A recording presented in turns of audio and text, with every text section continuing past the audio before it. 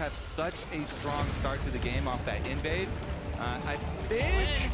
Jensen could be close, a little bit more damage. Auto attack flat, and Insanity's going to trade one for one. Attempt.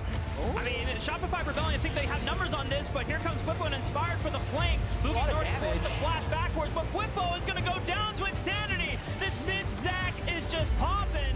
I mean, I guess APA only plays two champions, so, you know, if you ban Ziggs and Neeko, I guess you can't play the game anymore. If Sniper reveals himself, though, he's going to die. He just doesn't know yet. APA getting bursted down pretty heavily, though. Sniper wanted to make it happen. He's oh. barely going to miss out. Uh, obviously, uh, Insanity and APA are kind of the two mad scientists in the middle lane, so I think that it's going to be a really fun game. Uh, and as I said, we're, we're going to go out there, aim to entertain and aim to win.